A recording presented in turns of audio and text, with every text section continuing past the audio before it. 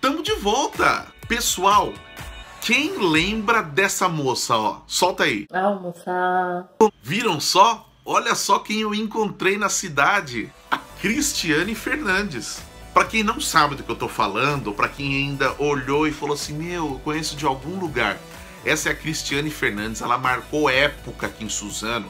No finalzinho da década de 90, comecinho dos anos 2000, ela ficava na porta de um restaurante bem ali na Glicério, chamando os clientes para almoçar. Ícone de Suzano, ficou muito conhecida na cidade com esse bordão que ela criou.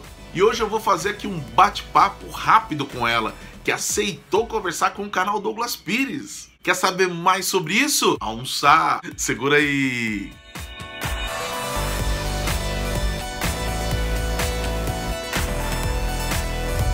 Fala pessoal, beleza? Estamos aqui de novo em mais um vídeo para você. Pessoal, há muito tempo eu queria bater um papo com a Cristiane e conhecê-la. É, eu disse isso, inclusive, em vídeos anteriores aqui.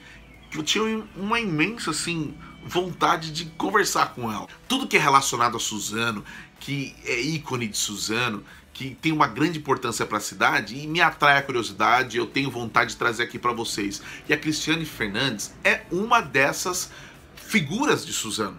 Bom, vamos deixar de enrolação, vamos falar com a Cristiane. Olá, Cristiane, tudo bem? Olá, Douglas, tudo bem?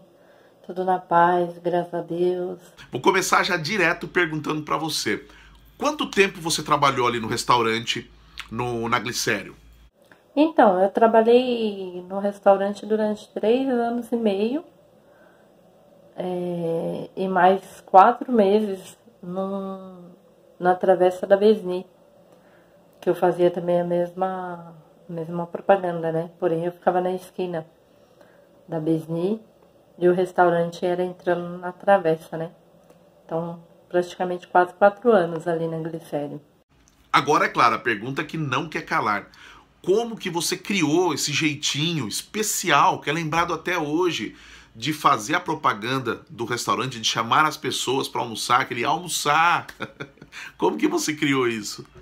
Então, por conta da prefeitura sempre estar tá fazendo o serviço deles, né? Fiscalizando se a gente estava entregando panfletos e acabava que girava multa, eu comecei a divulgar com a voz mesmo. Comecei a falar e falava um pouco baixo, as pessoas não escutavam muito. Aí eu comecei a falar um pouco mais alto. Falava os pratos que tinha, né, no dia a dia, porque cada dia da semana tinha as opções diferentes. E aí foi aumentando. E assim, o fato de você ser mais nova, é, não te dava uma certa timidez, uma vergonha de ficar é, falando ali na porta do, do restaurante? Claro, falando em público. Vergonha não, porque é um trabalho como tanto outro, né? E eu tinha meu registro na carteira, tive todos os meus direitos trabalhistas, como qualquer outra empresa, né? Te dá. E quando eu não era somente uma divulgadora, apenas trabalhava na porta, gritando como as pessoas diziam, é, eu entrava às sete da manhã eu fazia 30 tipos de salada, como eu sempre citei, porque eu falava a numeração porque era eu quem fazia, então eu sabia a quantidade que era feita todos os dias. E depois também, após o fechamento do restaurante, eu ia para o mercado né, com o meu patrão, eu fazia compra, eu que cuidava dessa parte, fazia a listagem, tudo para o dia seguinte. Então eu só tenho a agradecer a oportunidade que eu tive, porque eu cresci muito, né? Eu aprendi muito. E de lá eu fui tendo outros conhecimentos, né? No começo você fica tímido, né? Nunca tinha trabalhado assim na rua. Então, você fica tímido, mas vergonha do que eu fazia, não. Entendi, entendi. Inclusive, a Cristiane trabalhou também no hipermercado da avó. Ô Cris, se é que eu posso chamar assim, já tô íntimo da menina. Eu vou ter que pedir para você, é claro, falar aqui o seu bordão, como é que você anunciava o horário do almoço ali para as pessoas que passavam na glicério. Fala aí, o famoso almoçar. Almoçar. Temos 30 tipos de salada, churrasco, panqueca, lasanha, escondidinho, estrogonofe. Temos por quilo e prato feito. Você escolhe o melhor jeito. Que bacana, pessoal. Cris, muito obrigado, viu? Obrigado por ter nos atendido, por essa disponibilidade. Eu sei que você é muito ocupada, teve um dia até inclusive que você estava ajudando seu filho a fazer a lição online da escola. E assim, muito obrigado mesmo, sucesso e sabe que você é um ícone aqui de Suzano, tá bom? Um beijo, fica com Deus, tchau, tchau.